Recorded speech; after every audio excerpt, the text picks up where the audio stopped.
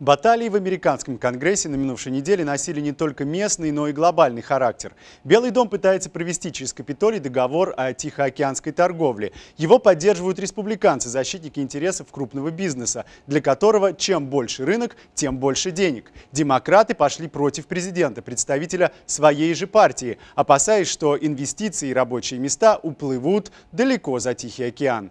Впрочем, серьезная оппозиция этому проекту, пожалуй, не будет, ведь он часть большого плана плана Обамы, который укрепит центральное положение США в мировой системе торговли. К подписанию в следующем году готовится большая торговая сделка между Соединенными Штатами и Европейским Союзом.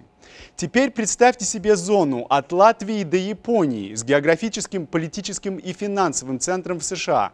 Этой американской идее противятся не только поборники прав рабочего класса, но и Европейский Союз европейский бизнес. Хлорированную курицу и другие потребительские ужасы испытала Яна Карпова.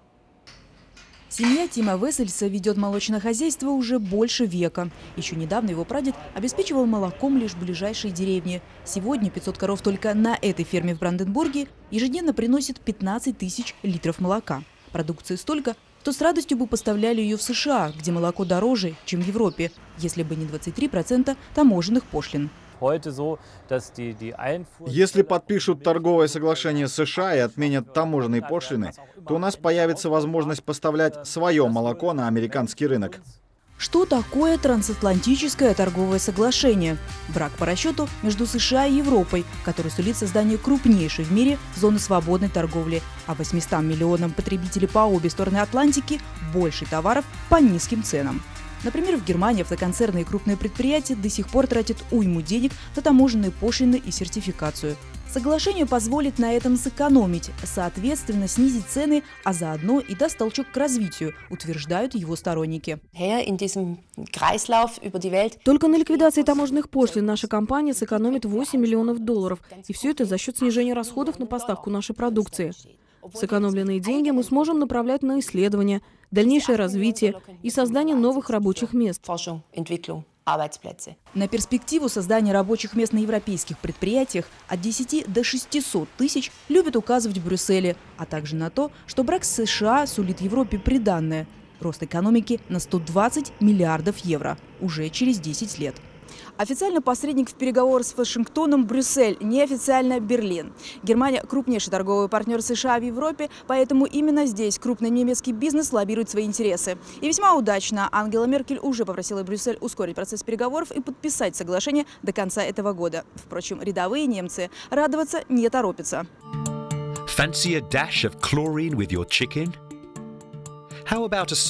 Этот промо-ролик про главную опасность соглашения, появление в Европе генно-модифицированных продуктов, придумал Йорк Хас с единомышленниками по общественному движению «Стоп ТТ». Их главная претензия – контролировать качество и производство продуктов станет значительно сложнее. Здесь, в Германии, тема генетически модифицированных продуктов под запретом. В свою очередь, американское аграрное лобби очень надеется, что получит новый рынок в Европе для продвижения своих ГМО-продуктов. Я думаю, они смогут каким-то образом отменить наш закон или найдут способ его обойти. Для Йорга Хааса это соглашение не только нарушение прав потребителей, но и основных постулатов демократии. Весьма ограниченный круг людей имеет доступ к документам с этих переговоров. С бумагами могли ознакомиться лишь некоторые наши парламентарии. При этом для регулирующих органов США документы в свободном доступе. Демонстранты подошли к своим протестам с известной долей креатива. На их плакатах знаменитый лозунг президента Обамы «Да, мы можем», только лишь с той разницей, что здесь же присутствует дополнение «Остановить ТТИП». Вот уже в который раз они выходят на улицы Германии с требованием обеспечить прозрачность переговоров. Мы уверены, что в демократическом обществе два человека за закрытыми дверями не могут принимать решения за всех. Мы будем продолжать нашу борьбу за принципы демократии. Против американской продукции, дешевой, но якобы не соответствующей стандартам ЕС, выступают 70% немцев. Остановить ТТИП набирает силу и может оказаться крупнейшим гражданским движением в Европе за последние десятилетия. Петицию за прекращение переговоров с США подписали почти 2 миллиона европейцев. Никакой угрозы договор США не несет, несмотря на разные подходы к производству и обработке продуктов, говорят специалисты. Вот пример. В Соединенных Штатах для дезинфекции курятины тушки окунаются в специальные ванны с хлорином.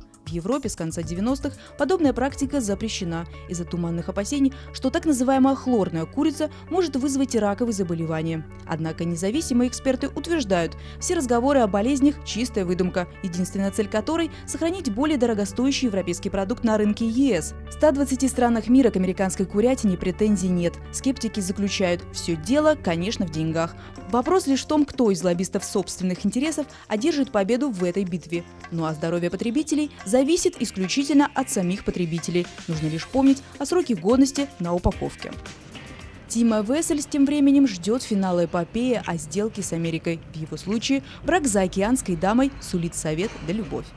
Яна Карпова, Кирилл Глебов, Европейское бюро RTVI.